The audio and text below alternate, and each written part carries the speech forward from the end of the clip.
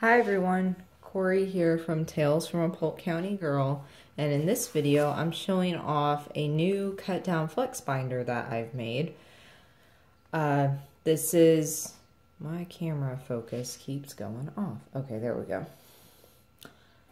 This size, travel, not traveler's notebook, what am I saying? This size flex binder is a B6 size.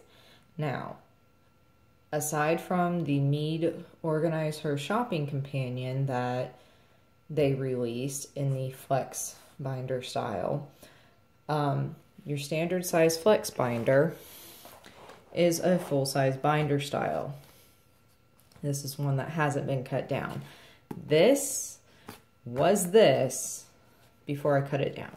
So how did I do that? If you guys recall, from my, uh, not only my video that I show how to cut this thing down, but also in my article that Carrie Harling published in her paper Planning, Easing. Um, I just measured out on the uh, covers. And for to cut to make a mini flex, I call it a mini flex, but to make the half sheet size, flex binder like I do for my Monster Flex. It's measure out six, cut down at nine. While for the B6 size, I still measured out six. And I didn't quite cut it at six, but that's okay. And then I measured down. Now, your B6 size notebook takes seven by five paper. So six inches wide will cover you with paper. You could even go to five and a half if you wanted. I'm okay at six. Um, what I did though, I did not measure properly. It's my own fault. Mine only from top to bottom measures seven and a quarter. That's okay. I'm fine with it. It's mine. But if you wanted to be precise, you could go to seven and a half, even eight completely up to you. So I'm showing this off because I'm getting, we are getting ready to go on a trip and I'm thinking about taking this thing with me as a writing notebook. Um, if you will recall in my previous videos about making one of these, this ring mechanism is what is very hard and dangerous to cut through. The type of scissors that I use are these. They're Fiskars. And they are mean looking, aren't they? You could definitely... They are designed for yard work and cutting through uh, small um, branches. Pretty sure they could cut fingers off. I'm terrified of these things, so... Um, they stay locked away when I'm... Except for the few minutes that um, I'm not using them, so if you have a pair of these or if you have a pair of the um, slanted medical shear scissors, those might work. Anything you think could cut through this. Oh, what is on the back of my notebook? Oops. That's how thick the ring binder mechanism is. So it's about a 16th of an inch, but that is thick, solid plastic that you'll be cutting through. Um, the corners, I did attempt to round the corners myself by eyeballing it. Um, I do not own a corner rounder. Um, so this B6 size flex notebook is just another example of if it doesn't exist and you think you might want it, go ahead and try to make it. Um, what's that saying? Uh, necessity is the mother of invention as much as I love my Monster Flex, and you guys know I do, look at this sucker.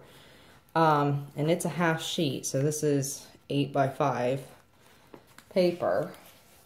It's half sheet size notebook. Sometimes I just want something smaller, and I do have the travel size one that's skinnier and takes those refrigerator notepads. Uh, that one's out in my car right now. I forgot to bring it in for this video. Uh, but that one was too small to take and for writing purposes. So this one This will be great for writing, working on uh, plot bunnies and everything. And it'll fit in my uh, purse when we, um, while we're traveling around. Did my focus just go? Probably. Oh, and the paper for it. Um, if you know me on Facebook or if you've seen me in some of the other planner groups, I'm always the first one to tell you that when somebody is looking for B6 size inserts to go to Walmart to the office supply section because they have cheap notebooks there for anywhere between 88 cents and $2 depending on the brand, the style, and how many pages they are. These are just a couple. It's not all the paper. These are just a couple of those 5 by 7 5 by 7 notebooks, or 7 by 5 if you will. Cheap notebooks from Walmart that I tore the pages out of. And I literally did. I sat there on the floor in my living room tearing the pages out. And then I punched them. Why is my focus going again? There we go. Um, and I hole punched them and put them in here. And if you notice, side by side, this one, it's the same paper. So I made a brain dump list one night before bed. I just took the sheet out of here, put it right into my Monster Flex. Um, the next day, I love being able to just move papers around uh, from notebook to notebook with the same ring mechanism layout. Which also means if I ever chose, this is going to sound weird, but if I ever chose to, because I did in a previous video, I think it was mini flex, personal size, Filofax, and it was like a page hack where I figured out that personal size inserts, the 333 and 333 um, ring mechanism setup, the holes, two of the holes match up with here. So I could even put personal size inserts in here if I wanted. I'm not saying I'm going to do that, but it is an option. I love having options because God knows my mind changes with the wind. So I'm happy to answer any questions. This is the latest mini flex in my collection. I love this color um, I debated on whether or not to use this particular flex binder because I love the color so much and I didn't want to ruin it. And I eventually convinced myself by telling myself, look, you know it's going to work. You've cut th these things down before. You love this color, which means you're going to use it. And of course, I was right. I just had to convince myself. So it's so, so pretty. I love it. And of course, standard uh, ballpoint pens do fit in here. And I just clip them like that. Stays nice and secure. Even if it wasn't, it still has the ring to hold it in.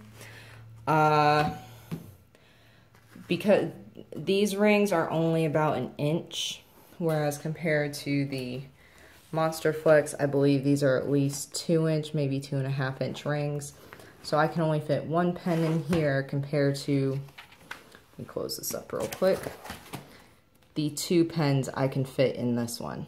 No big deal, because I plan on just taking a ballpoint pen anyways. Um, ballpoint pens typically are my most reliable travel pens uh, yeah, so that's it. I hope you enjoyed this video. If you have any questions, please leave them in the comments below, and I'll see everybody later.